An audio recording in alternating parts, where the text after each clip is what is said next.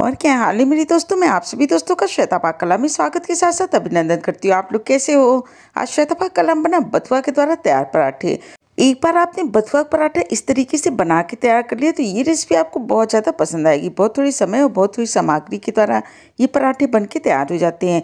आप चाहें तो बथुए के पराठे को चौरस बना सकते हैं, तिकोना बना सकते हैं या फिर गोल बना के तैयार कर सकते हैं।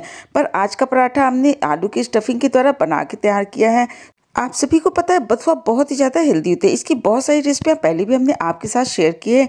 आप हमारे चैनल पर उनको देख सकते हैं। ये पराठे बहुत ही ज़्यादा टेस्टी लगते हैं। फिर इन पराठों को आप दही के साथ, रायते के साथ, किसी भी सब्ज़ी या चटनी के साथ खाना पसंद करेंगे। चलो दोस्तों, हम आप इसको मिलकर बनाना शुरू करते हैं। बथुआ के द्वारा तैयार स्टफ़ पराठे। बथुआ के पराठे को बनाने के लिए सबसे पहले आधा के जी हमने बथुआ लेते हैं बथुआ को मार्केट से लाने के बाद करीब चार से पाँच पानी से हमने इसको धुल के साफ़ कर लिया था। साफ़ करने के बाद इसको रफली काट के तैयार कर लिया है। बहुत ज़्यादा बारीक टुकड़े इसके हमने नहीं काटे। साथ ही साथ थोड़ा सा हमने धनिया पत्ता लिया। इससे पराठे का स्वाद बहुत ही ज़्यादा बढ़ जाता है। अब हमने एक कढ़ाई ले ली। कढ़ाई के अंदर थोड़े से बथुआ को रख देते हैं। चार से पाँच पीस हमने हरी मिर्च ली है। चार से पाँच पीस लहसुन लिया एक से डेढ़ इंच अदरक का टुकड़ा लिया इसको भी इसी के साथ पका के तैयार कर लेते हैं। स्वाद के अनुसार थोड़ा सा नमक डाल दिया, इसको कवर करके गैस की लो टू मीडियम फ्लेम पे करीब तीन से चार मिनट तक पका के तैयार कर लेना है। इस तरह देखिए, इसको पकते हुए लगभग चार मिनट हो गए, एक बार इसको चला दिया और ढक के एक से दो मिनट तक और पका लेते हैं। कुल मिला के बथुआ को हमने पाँच से छः मिनट तक ही पका के तैयार किया। ओवर कुक इसको बिल्कुल नहीं करिएगा।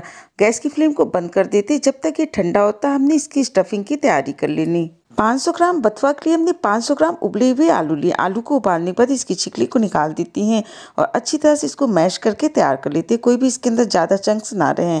और इस तरह देखिए पूरे आलू को हमने मैश करके तैयार कर लिया इसी के द्वारा स्टफिंग को बना के तैयार करेंगे। गैस पर हमने एक पैन रख दिया। पैन गर्म हो गया। तो इसके अंदर लगभग एक से डेढ़ टेबल स्पून तेल डाल देते हैं। पर तेल थोड़ा सा ज़्यादा पड़ गया तो सारे तेल को निकाल लेते सिर्फ़ एक टेबल स्पून तेल को रहने देते हैं। तेल अच्छी तरह से गर्म हो गया तो इसके अंदर आधा टेबल स्पून जीरा डाल देती हैं। तीन से चार पीस हमने हरी मिर्च ली थी, इसको बारीक टुकड़े में काट के इस तरह से तैयार कर लिया। इसको भी इसके अंदर डाल देते चौथाई टेबल स्पून हल्दी पाउडर डाल दिया। तड़के को कुछ सेकंड भूनने के बाद इसके अंदर हमने उबले हुए, मैश किए हुए आलू को डाल देती है। डाल के इसको भी तड़के के साथ अच्छी तरह से मिला लेते लेकिन उससे पहले इसके अंदर आधा टेबल स्पून हमने गरम मसाला डाल दिया। स्वाद के अनुसार नमक को डाल देती हैं। अच्छी तरह से आलू को एक से दो मिनट तक तड़के के साथ मिला के तैयार कर लेती उसके बाद इसके अंदर हमने थोड़ा सा धनिया पत्ता डाल दिया। धनिया पत्ता और नमक डालते समय वीडियो शूट नहीं हो पाई और इस तरह से देखिए मसाला बन के तैयार हो गया है। अब हमने गैस की फ्लेम को बंद कर देना है। पूरे मिश्रण को एक प्लेट के अंदर निकाल के रख लेते हैं। जब तक ये ठंडा होता है, हमने आटे को गूद के तैयार कर लेना है। बथुआ को रखे हुए लगभग 10 मिनट हो गए थोड़ा सा ठंडा हो गया। अब इसको हमने पीस के तैयार कर लेना इसके लिए एक मिक्सी के जार ले लिए। जार के अंदर पूरी बथुआ को डाल देती हैं। अलग से इसके अंदर हमने किसी पानी का उपयोग नहीं किया। जो बथुआ वाला पानी, उसी पानी के द्वारा इसको पीस के तैयार कर लेते हैं। एक थाली के अंदर लगभग ढाई से तीन सौ ग्राम के करीब हमने गेहूँ का आटा लिया है। इसके अंदर पूरे बथुआ को डाल देती हैं। जार के अंदर करीब तीन से चार टेबल स्पून पानी को डाल के अंदर से जार को भी साफ़ करके पूरे पानी को इसके अंदर डाल दिया। अब अपने आटे को गूद के तैयार कर लेना है। इस तरह देखिए इसका आटा गूद के तैयार हो गया पर थोड़ा सा ढीला है। आधी कटोरी अपनी गेहूँ का आटा और लिया है, पर एक बार की नहीं डालते। थोड़ा थोड़ा करके इसको डाल देते हो। इतना आटा बच गया, लगभग दो से तीन टेबल स्पून तो कुल मिला के इसके अंदर लगभग 300 से साढ़े तीन सौ ग्राम करीब हमने आटे का उपयोग किया है। अब दो टेबल स्पून सफ़ेद वाली तेल डाल देते हैं और दो टेबल स्पून तेल को डाल के अच्छी तरह से तीन से चार मिनट तक आटे को गूद के तैयार कर लेते हैं।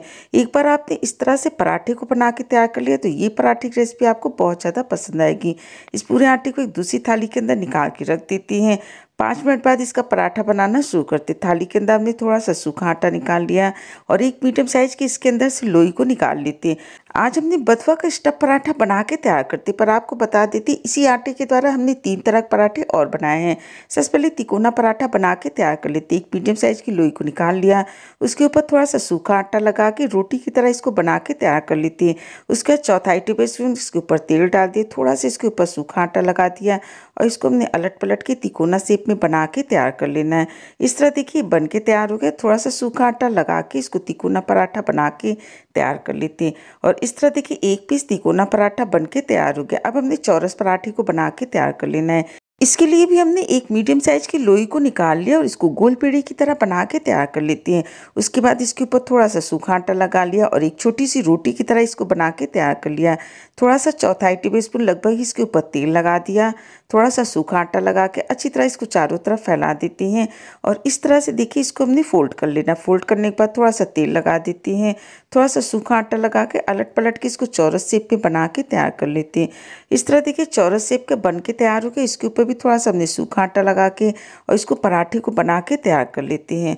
और दूसरा पराठा हमने चौकोर शेप में बना के तैयार किया। अब तीसरी पराठे को बना के तैयार कर लेते हैं, जो हमने आलू की स्टफिंग के द्वारा बना के तैयार किया है। इसके लिए एक मीडियम साइज़ की लोई को लिया, एक छोटी कटोरी की तरह बना के तैयार कर लेती हैं। स्टफिंग का सबसे आसान तरीका होता है, जितना आप आटे की लोई को लीजिए, उतना ही आप आलू के मिश्रण को भी इसके अंदर भर लीजिए।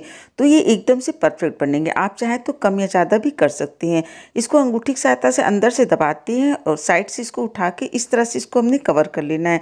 कवर करने के बाद दोनों तरफ़ से अच्छी तरह से दबा देती थोड़ा सा सूखा आटा लगा के हल्के हाथों से इस पराठे को बना के तैयार कर लेती। इस तरह से देखिए, आलू के पराठे बन के तैयार हो गए। बहुत ज़्यादा मोटे नहीं, बहुत ज़्यादा पतले नहीं।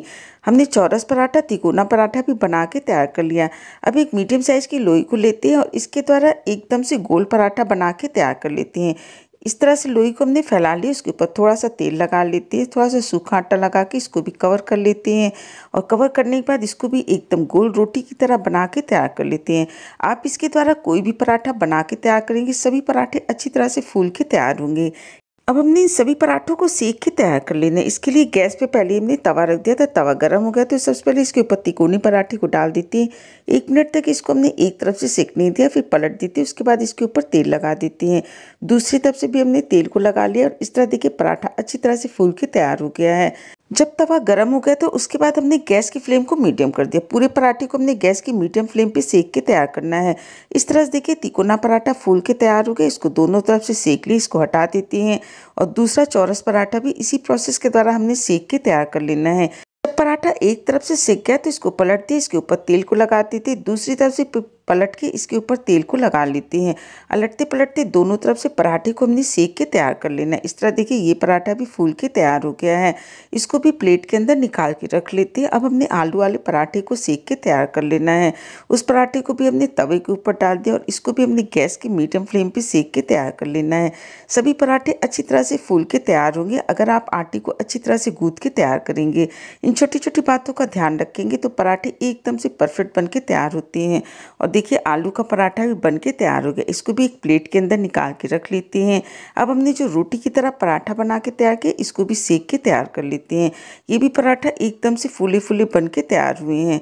इसी प्रोसेस के द्वारा बाकी पराठे को हमने आलू के द्वारा स्टफ़ करके बना के तैयार कर लिया और इस तरह देखिए, बथुआ के सारे पराठों को हमने बना के तैयार कर लिया आपके लिए जो भी तरीका ईजी हो, आप उसी तरह से बथुए के पराठे को बना के तैयार कर सकते हैं। एक बार आप इस रेसिपी को ज़रूर ट्राई करिएगा।